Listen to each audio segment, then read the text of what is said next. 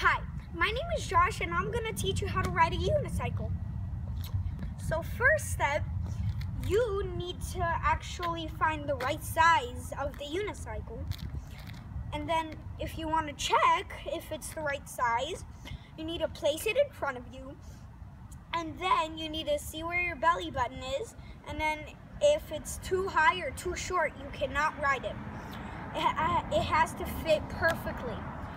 Then, when you get the right size, you could start um, riding. So now you have to pair it.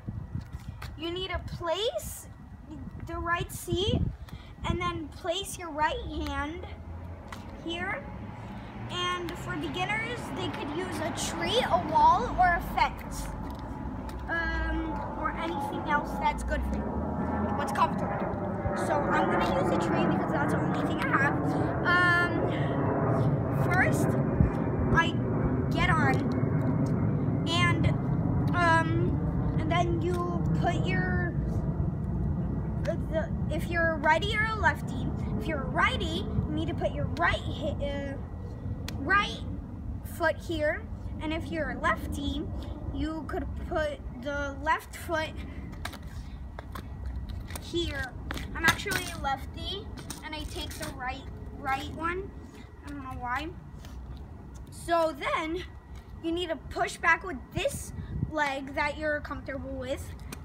And then look look at this one.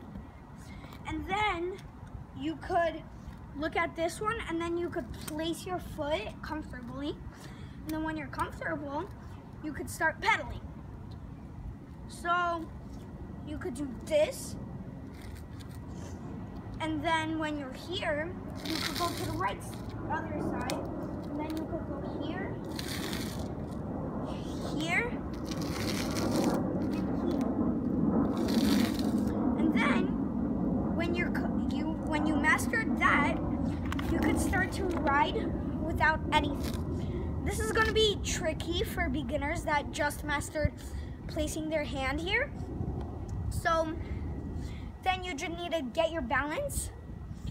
You could shake your hands around. That's what I do. I'm still a beginner.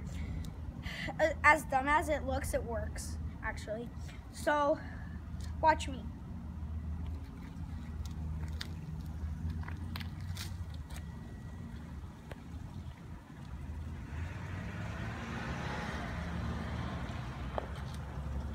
And the last thing is landing.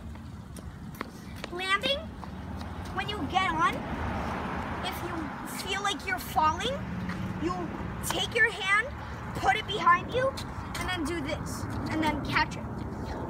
So, to catch the thing, but it's okay if you don't do it because it's like meant for falling. Uh, it's okay, but you can't do it for like five hours because then you're gonna ruin your the front of your unicycle or the back. And that's all that you could do. So have fun trying.